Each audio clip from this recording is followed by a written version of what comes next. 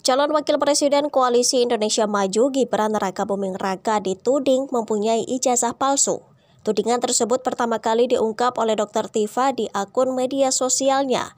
Dr. Tifa mempertanyakan keaslian ijazah Gibran yang menurutnya palsu dari sebuah universitas di luar negeri.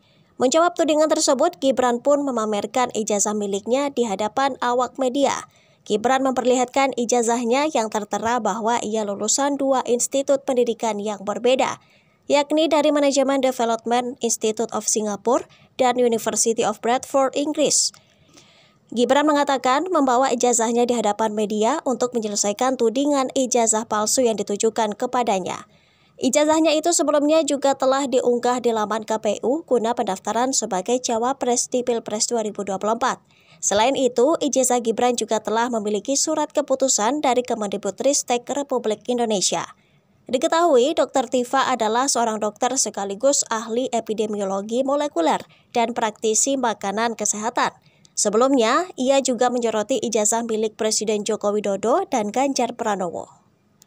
Download Tribun X sekarang, menghadirkan lokal menjadi Indonesia.